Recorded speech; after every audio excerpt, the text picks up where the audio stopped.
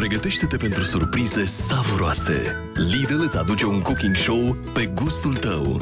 Lidl, meriți să fii surprins. Bine v-am găsit. Cum sunteți? Foarte bine. Emoții? Mari? Sunt, uh, au fost mai mari, dar în timp... Uh, Au fost mai mari când ați pășit când în am platou? intrat, da, în platou, dar acum în timp s-au Se estompat. spulberă, Da, nu? se spulberă, Dar da. la banc nu o să aveți... Uh... Uh, vreau să merg fără nicio emoție la banc.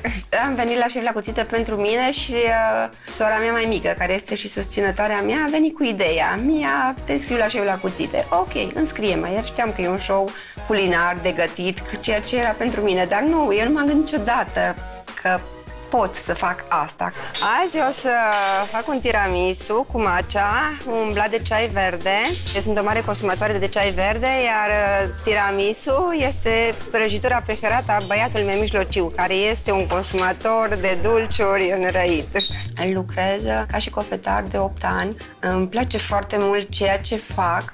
Am făcut cursuri la un nivel foarte mare unde am învățat cum se pregătește un mus, ce este o monoporție, tehnica de preparare a izomalțului, care pentru mine era străină, nici nu știam că există izomalți, că sunt atâția lucruri și acolo am avut baza unor lucruri pe care le-am aprofundat în timp după. Da, eu mi-aș trei cuțite când am venit, dar nu este același lucru aici în platou ca și uh, când gătești acasă. Este incomparabil cu ce am trăit acasă. Aceleași preparate le-am făcut în 40 de minute acasă și aici am avut la dispoziție o oră, dar tot nu am reușit să fac exact ce, ce am vrut să fac, ce mi-am propus. Timpul are altă valoare în bucătărie. Am spus, Doamne ajută și fii cu mine.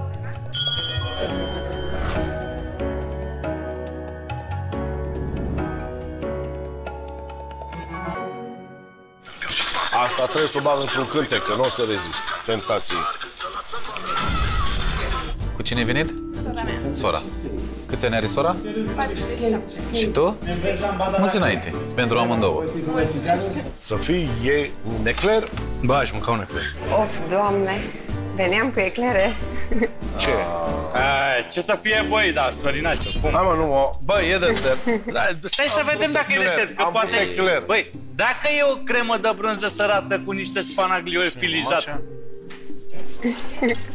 E dulce. E, mă, E dulce. Deci un fel de cheesecake. Da, asta nu e cheesecake. Dar ce? e alt cheesecake. Pare a fi un o cremă cheesecake, de nu știu ce exact. Haide, mă. Are un biscuit de jos, Biscuitele este cu matcha, are ciocolată albă, Nu, ciocolată albă. are gust de ciocolată albă. are și un pic de ulei de susan. Da, Îl simt eu bine sau Da. nu? da, Cu matcha, da. Tu matcha? Tu matcha. tu macho, Matcha ca matcha. Mai degrabă un bavaroasă că tot cheesecake. ceva de genul ăsta. Așa, de ce? dar unde e Să ai doar cheesecake-ul, mă? Că m-ați mascarpone, păcălit când dați Nu cheesecake e, și ce- nici... mie nu se pare că e cheesecake. Îți pare a Da, fi asta un e cheesecake. Ia auzi? Iată, ia. E lăptoasă, deci are și un pic de ciocolată Faci albă. așa și ai făcut în perle în rubi. Uite. Da. Ce ai Ce ai făcut? făcut? Perle în rubi, așa se numește tortul de ciocolată albă cu inserție de Este smeură. prin el? A, da. de smeură. Aha, perle Și așa rubi. se Uite, numea, nu știam de perle asta. rubi. A, babețic avem și noi? Pentru Cătălin, i-a cos de guriță și lui. Asta era. Are, da, la el, păi de-aia m-am oprit în S-a discurs. dat la mine. S-a dat de la mine. Vezi dacă, dacă... Nu mai zic nimic. Dar cum este gătită această prăjiturică? Este o domnișoară, 23 de ani. N-are mă nici 18. 23, aproape dublu. Oh, ce drăguț sunteți! În jur de 50-60 de ani, doamnă, a lucrat la APACA și este fan Petre Roman. Băi, ești neman? Hai mă, că n-are nicio treabă. cu Făceau, prăjitura. făcea Fii atent. prăjitura Petre Roman. Nu a evoluat de la Petre, cu aia a început. Eu am zis că Prăjitura n-are Petre 18. Roman a început. N-are 18? N-are 18. Hai să Fii votăm. atent. Hai să votăm. Foarte bun. Foarte gustoasă. Foarte bună. Nu are ea plating, nu are, nu are consistență. Bă, da, dar e acolo gustoasă. trebuie are cumva, gust. cumva puțin lucrat, dar Are gust. Are gust. uleiul la are puțin gust. de susana Ăla de jos, Foarte șmecher aia. Asta, asta, asta, asta, Da. asta zic. Da. Adică e foarte mișto idee. Macea o vezi, uleiul nu-l vezi. Ăla îl Uleiul- simți, da. Doamne, ce emoții! Of! Băi, Fii atent. Da, e, cred că mai e spre Seara. tine. Mă numesc Lucia Mara, vin din Blaj, județul Alba și sunt copetar. ia uite pe sora. Am 47 de ani. Seara. Bună seara! Bine v-am Și- găsit! Sunteți fan uh, Petre Roman?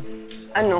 Dar Îl știți știu prăjitura pe cu... domnul. Pe prăjitura? Petre Roman, da, bineînțeles. că Știți știu. prăjitura, da? Da, da, Ah, da. vezi, prăjitura mă, și Ion Iliescu. Deci Seri- este- există da, și aia? Și Ion Foarte Iliescu tare. este, da.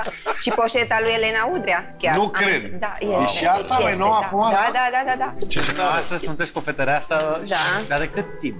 De șapte ani. Șapte ani, lucrez. da. Haideți să vedem așa din urmă. Cine sunteți dumneavoastră? Care e viața dumneavoastră și ce puteți să ne povestiți? M-am căsătorit la 20 de ani. Deci, Și de atâta timp căsătorită, de atunci, de la Nu, 20 nu, de ani? nu, nu, nu, m-am despărțit după 2 ani și 7 luni m-am După cât? despărțit, 2 ani și 7 luni. Aha. În urma Da. căsătoriei a rezultat un băiat extraordinar, un băiat deosebit, care acum este în Anglia, Băiat mare manager, acum. da, este lucrează în Anglia, în insulele Island, este asistent manager Mm. la un hotel. Foarte Da, tare. dacă nu suntem uh, indiscreți. Da, vă rog. Uh, ce s-a întâmplat? Nici nu face plăcere să-mi amintesc care a fost punctul culminant, printre altele. Printre... Deci mergea după lapte la copil, se întorcea pe trei zile acasă cu laptele la copil. Wow. Și punctul culminant a fost când tata lui, într-o dimineață, fiind cu copilul singur acasă, s-a pus gol lângă mine. Și vă dați seama, panică, stres, am fugit la o vecină. Și vă dați seama, panică, stres, am fugit la o vecină. Și acum retrăiesc clipele alea. Uh, Mi-a zis să nu povestesc nimănui. Când vine soțul și soacra, nu spune la nimeni, nu... nu. Bă, ești nebun? Vă dați seama că nu am putut să nu povestesc și... Deci soțul meu, când o auzit, așa a început să zâmbească, iar fostul socru arunca cu o sticlă după mine. Wow. Soțul încă zâmbea, știți? Deci ca și când pentru el era ceva normal. Zâmbea. Da, sora mea n-a avut o viață ușoară. În momentul ăla am sunat o colegă și atunci am și luat copilul. O fostă colegă cu care lucram atunci, în momentul ăla am dus la părinții mei, la Bistra, că eu sunt deloc de la munte. Aveam 23 de ani și un copil de un an și două luni.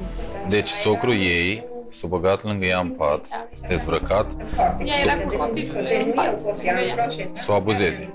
Și ea după aia a luat copilul și a plecat sau s-a despărțit de soțul ei. S-o și despărțit și au plecat acasă, venit la părinții mei. Și a făcut vreo plângere la poliție, la ceva? Așa, deci m-am și în blaj. Doamne, Dumnezeu. Pe eu m-am șocat. Eu m-am șocat. Da. Cum o depăși momentul? Ea e o tipă destul de optimistă tot timpul. Nu știu, trece mai ușor peste lucruri și iartă destul de ușor. Deci acum totuși pot să povestesc, dar câțiva ani nu am putut nici să povestesc asta. Deci pur și simplu nu am putut Și să după aceea v-ați povestesc. refăcut viața? Deci m-am căsătorit, în V-ați primul rând nu recăsătorit. avea, da, m-am recăsătorit, în primul rând nu avea tată. N-avea deci tată. asta- Ați avut grijă de asta să căutați pe cineva da, fără da. Mi s-au părut oameni foarte ok pentru ce vroiam eu, dar m-am încelat. Nu cred. La ce Da. vârstă? Da, deci acum, în urmă cu un an, m-am Deci, despărțit, altă am poveste. 20 și, da, da, altă poveste. La fel de tristă? Mai trist. Uh, Da. Păi ce s-a întâmplat? La 26 de ani uh, l-am cunoscut pe al doilea soț, care am crezut că are calitățile care le uram la un bărbat. Deci nu avea tată, în primul rând asta. Deci nu consuma alcool, nu... M-am înșelat, din nou. am crezut că este omul care îl căutam eu. Cu câteva zile înainte de nuntă, o băut prima dată în viață și m-a lovit. Deci am fost vânătă, mireasă. Mi-a fost teamă să le zic părinților mei, pentru că toată lumea știa că mă căsătoresc și cum să-i fac din nou de minune. Fiind invitați la nunte toată lumea, am mințit. Am spus că m-a lovit taurul, că și acum râd copiii, uh, copiii, surorile mele de lucrul ăsta, știți? Și că m-a lovit taurul înainte de nuntă. Și de acolo au continuat 20 de ani. Nu pot să cred. A, v-a, v-a lăsat urme, v-a lăsat Da, da. Și nici acum nu a depus plângere? Da, așa am fost mireasă, da. Mă lovea, au fost zile încă nopți în care am dormit la vecini, am dormit pe stradă, am fost, mi-amintesc că trebuia să merg la un eveniment Și de sculță am plecat. Deci tot asta scandal și am plecat de sculță, pur și simplu, că știam că trebuie să mi onorez contractul, știam și am plecat de sculță. Trist. Familia mea este o familie frumoasă. Frații mei sunt oameni, cu toate că ei tot timpul Mia pleacă, du-te, ai grijă de tine, m-au încurajat, dar eu nu am luat decizia să plec mai repede. O depus plângere acum vreo 5 ani, când a fost o agresiune foarte mare și așa. Atunci, da, Și nu s-a întâmplat nimic? uh, a fost închis. Aha. meu cumnat, pentru că acum sora mea a plecat în divorț, oarecum, pentru că era prea mult. Și nu puteam să particip. Deci dacă eram cu el nici la emisiune, nu aș fi putut să particip. De ce? Nu mi-ar fi dat voie, nu mi-ar fi... Era foarte posesiv, foarte, foarte posesiv. Se nu Era. dea voie, de, trăiești într-o țară liberă, ești un om liber, Da. da. să nu-ți dea Stați un voie. pic, asta e acum de curând, e recentă? Da, acum un an m-am separat de... Și cât ați trăit? Cu 20? 23 de ani. 20. La 22. 22 și... Copii? Și din căsătoria? Da, am doi băieți. uh, Wow! Doamnă, după toate câte vi s-au întâmplat, așa, crunte, că sunt ciudate rău, sunt... cum ați avut forța să vă reveniți, să mergeți mai departe? Deci am o putere interioară foarte, foarte mare. Sunt foarte puternică. Nu mă las marcată de trecut foarte mult. Uh, Tot timpul zâmbesc și trebuie să fiu tare, mai ales pentru copii. Dacă uh, cedam și eu psihic sau nu, nu îi încurajam, nu, nu erau copii, unde sunt acum? Și a trebuit să fiu tare pentru copii. Felicitări, doamnă, pentru puterea pe care o aveți și de care dați dovadă. Și acum haideți să vorbim despre ce ați gătit. Ce avem aici? Puțin. Aici am vrut un tiramisu. Cu, Tiramisu? da, tiramisu cu blat de matcha. Sunteți patiser cu fetar de meserie. Există tiramisu cu blat de matcha? Da. Serios. Stați un pic, haideți să stabilim altceva. Este cremă Hai, nu, tiramisu stai că- din mascarpone? Da, și cu obezia italiană. Are ceva merenghe pe Așa. aici. Da. Are un pic de Da, dar e merenghe. Acrișoară, Asta foarte e- acrișoară.